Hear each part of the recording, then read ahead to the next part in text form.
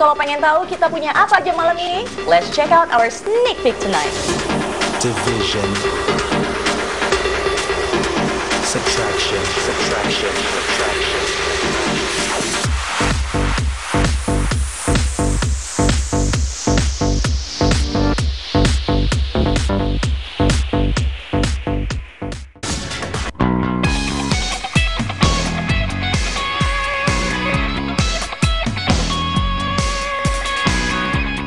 Penasaran gak sih pengen ngeliat situasi di sekitar rumah lo? Atau mungkin lo suka fotografi dari angle-angle yang tinggi?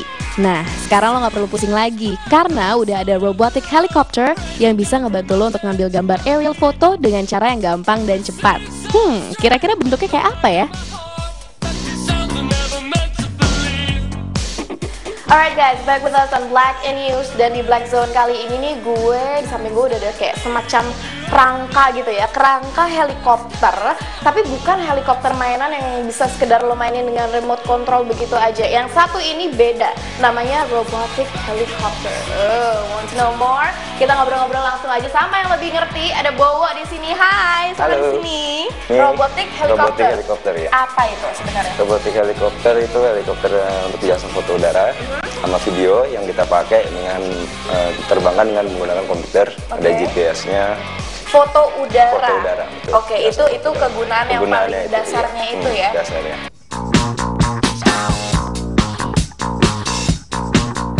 Nah, kalau kita terbangin bentuknya udah seperti ini. Diterbangnya seperti ini. Nah, Oke. Dan ini sudah didesain untuk membawa kamera SLR. Gitu ini Ya. sini kelihatan juga nih di bagian bawah dari robotic heli ini ada kamera. Ini Kamera. emang positioningnya di sini Nah, atau untuk yang jenis ini memang positioning di bawah karena dia kamera ini agak sedikit berat jadi kita taruh beban di tengah tengah poros eh, helikopter. tapi apa juga bisa ngambil video nggak ya kira-kira gitu di udara? Bisa juga. Bisa juga. Kalau dengan kamera ini kebetulan ini kamera Canon 5D Mark II dia juga bisa foto dan bisa video. Tapi bisa juga kita ganti pakai kamera seperti ini, Oke. kamera HD Full HD gitu ya HD cam kita taruh di sini. Sebetulnya hasilnya sama. Oke, kalau boleh tahu robotic helikopter ini bisa terbang sampai ketinggian berapa? Oke, tinggi maksimal sama ini kita terbangin itu 3000 kaki, area radius tuh 4 km.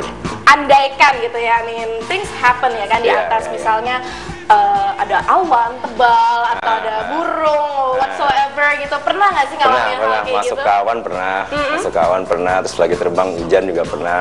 Misalnya kita harus kon- kontak dengan helikopternya karena kalau kita terbang kita hanya ngeliat monitor. Oke. Kita udah nggak ngeliat ke helikopternya lagi, kita hanya lihat monitor. Terus misalnya masuk ke awan kita ada satu switch gitu, return to home namanya, pulang ke rumah kayak emang kayak burung aja. dia otomatis Dia automatically bisa balik lagi balik ke tempat lagi. dia awal. Ke tempat dia awal.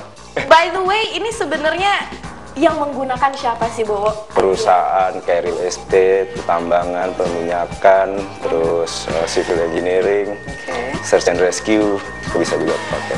Oke, so untuk menerbangkannya sendiri ini ada konsolnya, ada remote-nya. Ya, dari remote-nya. Dari Seperti apa? Boleh lihat nggak? Oke, boleh. Ada. Oke, ini adalah remote yang kita pakai, Mhm. Alba Seno untuk terbangkan helikopter ini. Oke. Ya, di gyronya untuk menjaga kestabilan foto. Jadi walaupun di atas digoyang seperti apa, kameranya akan Ngikutin. ngikutin di satu titik. Menstabilkan Menstabilkan gambar. gitu. Ya, betul. Sounds interesting. Kalau misalnya pengen ngeliat gitu, apa ada websitenya atau ingin menghubungi, bisa mengkontak ke mana, Bo? Oh, bisa kontak ke kami ke Earthsense di Puri Bintaro PP 367 ya dengan telepon bisa ke saya 0813 8822 4090 Iya, kita udah lihat ternyata canggih banget gitu ya, luar biasa deh. Pokoknya sesuai dengan tema kita hari ini, kecil-kecil cabai rawit ya kan. Gak perlu pakai helikopter yang beneran, Ya. yang gede kalau kita sudah punya yang namanya robotic helicopter. Alright then guys, always stay up to date with Black in News. Dan ngomongin soal robotic helicopter, sekarang gue udah ada barengan sama salah seorang pengguna jasa dari robotic helicopter ini. Ada Andre, hai, Halo, apa kabar? Baik. Boleh tahu nggak sih dijelasin sedikit gitu menggunakan jasa robotic helicopter ini untuk apa? Uh, waktu itu kita punya project untuk bikin video presentasi uh, untuk sebuah hotel. Mhm. Mhm. Jadi saya kontak Mas Bowo untuk bantu kita nge-shoot uh, fasilitas hotel itu. Tapi Ya. kenapa sih akhirnya mutusin untuk milih robotic helicopter ini gitu ketimbang yang lainnya gitu? Pertama adalah budget, karena kita bekerja dengan budget yang nggak begitu besar ya. Untuk Oke. kita sewa helikopter beneran itu kayaknya impossible aja gitu. Ah. Dan yang kedua itu karena kita nge-shoot itu kan perhotelan ya. Kalau kita nge-shoot dengan helikopter beneran itu bisa kabur semua nanti tamu-tamu hotelnya. gitu Ah, keganggu ganggu dan karena berisik gitu kan. macam. Berarti intinya lebih simpel juga Lebih kali simple, ya. ya, betul, ya. Oke, ini lebih simpel lagi. Ikutin bareng-bareng. Always stay up to date with Black News.